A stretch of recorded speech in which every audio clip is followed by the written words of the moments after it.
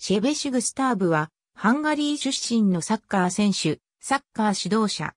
1950年代に、プスカシュ、フェレンツ、チボルゾルターン、コチシュシャーンドル、ヒデクチナーンドルらを要して、マジックマジャールと呼ばれたハンガリー代表の監督。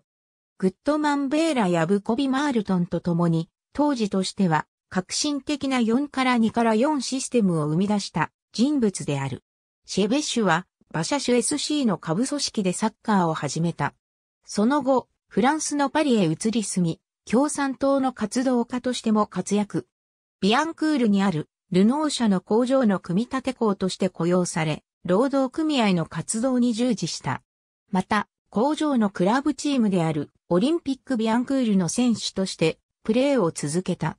1920年代にハンガリーへ帰国し、ハンガリア MTKFC へ加入。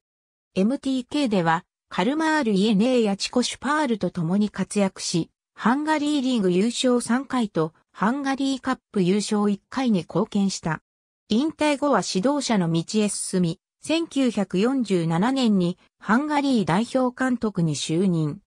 1949年からはハンガリースポーツ省副大臣を兼任し、代表強化のための様々な権限が与えられた。シェベッシュは1934年の FIFA ワールドカップイタリア大会と1938年の FIFA ワールドカップフランス大会においてイタリアを大会連覇に導いたビットリオ・ポッツォや1930年代にブンダーチームと呼ばれたオーストリアを率いたフーゴ・マイスルの影響を受け、国内トップレベルの選手を2つのクラブに集め、集中強化を行う方針を取った。また、シェベシュは一人の選手があらゆるポジションをこなすことのできるソーシャリスト、フットボールを主張した。攻撃が防御を兼ねることをコンセプトに、運動能力を高めるための様々な練習や実践を想定した練習が実践された。シェベシュの下で、同国は1950年6月のポーランド戦から1954年6月の西ドイツ戦まで32試合無敗記録を打ち立てた。1952年ヘルシンキオリンピック金、メダル、1953年の中央、ヨーロッパ選手権優勝、同年11月にロンドンウェンブリースタジアムで行われたイングランドとの親善試合における歴史的勝利。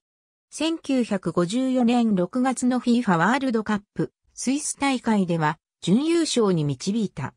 ワールドカップでの敗戦により連勝は一時ストップしたが、その後も一定の戦力を維持し、1956年2月19日にトルコ戦で敗れるまで17連勝を記録した。1956年6月3日のベルギー戦を最後に代表監督を退き、その後は、ウーイペシュト FC やブダペスト本ベード FC などの監督を務めた。1986年1月30日に死去、80歳没。1954年当時のハンガリー代表の婦人ハンガリーのサッカーは1950年代に世界最先端にあった。本ベードや MTK などのクラブやシェベシュが指導したナショナルチームは伝統的な WM フォーメーションに対し、4から2から4システムの原型となるシステムを採用した。センターフォワードの秀口が中盤に下がりゲームを組み立てるとともに、自ら前線に攻め上がり得点に絡んだ。インナーのプスカシュとコチシュが前線に進出して左右のウイングと共に4トップを形成し攻撃を担当した。中盤は前述の秀口をライトハーフのボジク・ヨージェフが豊富な運動量でサポートした。